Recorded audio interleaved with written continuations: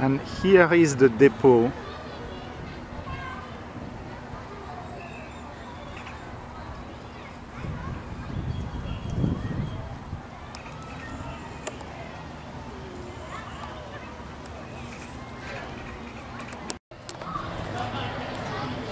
Here is a nice view of the train station.